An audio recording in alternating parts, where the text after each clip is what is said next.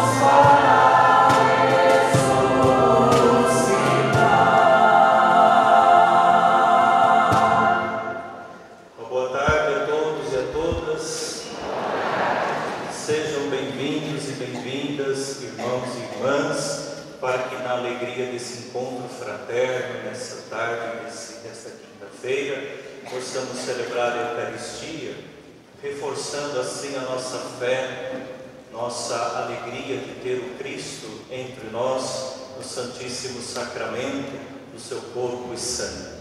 É com alegria, portanto, que acolhemos a todos para celebrarmos este momento e depois de comungarmos o Cristo, também fazermos a nossa procissão, expressando publicamente a nossa fé, a nossa certeza e esperança de que Jesus Cristo está neste pão e neste vinho consagrado que faz parte da nossa vida, que nos torna irmãos e irmãs numa comunhão fraterna e nos dá força para as lutas da nossa vida.